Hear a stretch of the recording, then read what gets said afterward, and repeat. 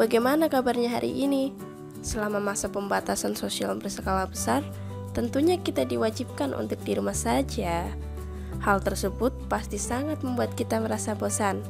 Kalian pasti sudah kangen kan pengen jalan-jalan ke tempat wisata? Untuk menemani waktu di rumah kalian, ini dia video yang bisa mengobati rasa rindu kalian untuk berwisata. Tapi sebelum menonton, jangan lupa subscribe channel ini dulu ya, agar kami tetap semangat untuk membuat video baru.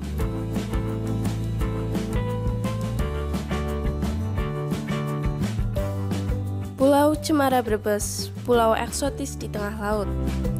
Pilihan destinasi wisata yang bisa dikunjungi di Kabupaten Brebes, Jawa Tengah kini semakin banyak. Salah satu yang bisa menjadi alternatif untuk menghabiskan hari libur akhir pekan yakni Pulau Cemara di wilayah pesisir pantai utara.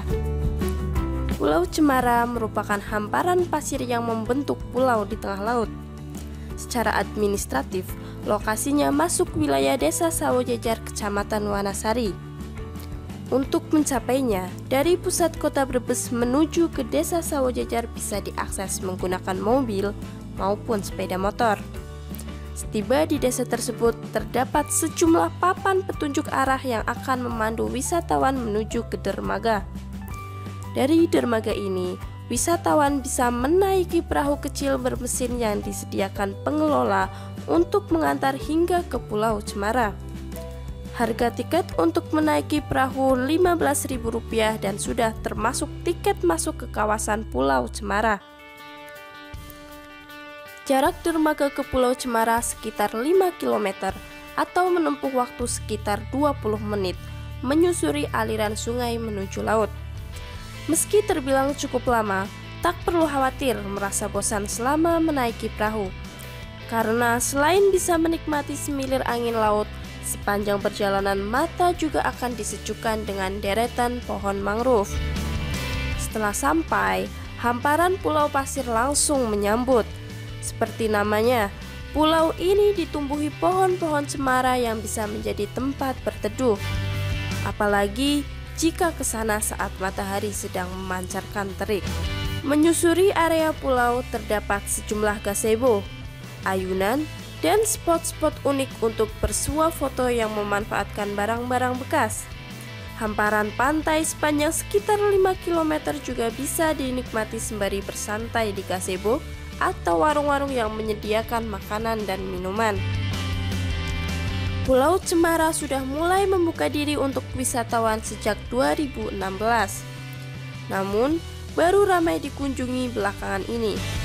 Dikelola oleh warga setempat yang bernaung dalam kelompok tani pelestari sumber daya alam Wana Lestari dan kelompok sadar wisata atau Pokdarwis Desa Sawojajar. Sekretaris Pokdarwis Desa Sawojajar Siti Moalimah mengungkapkan, Pulau Cemara pada mulanya adalah hamparan pulau pasir yang muncul karena pengaruh fenomena alam.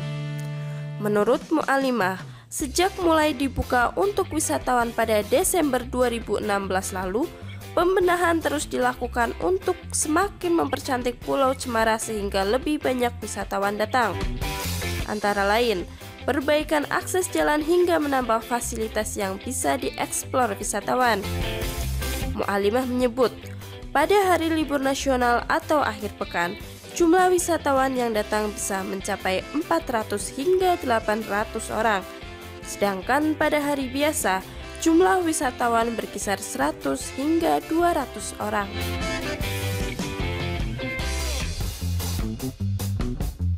Jangan lupa subscribe, like, komen, dan share video ini agar lebih banyak orang yang menonton.